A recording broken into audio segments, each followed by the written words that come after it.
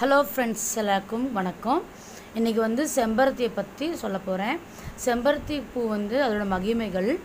என்னென்னா உங்களுக்கு நம்ம யூரின் போகிற இடத்துல ரொம்ப எரிச்சலாக இருந்ததுன்னா அதை வந்து நம்ம கஷாயமாக வச்சு குடிக்கலாம் நம்ம.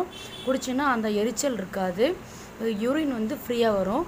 இது இதயத்துக்கு இதய நோய்க்கு ரொம்ப அருமருந்தாக பயன்படுகிறது.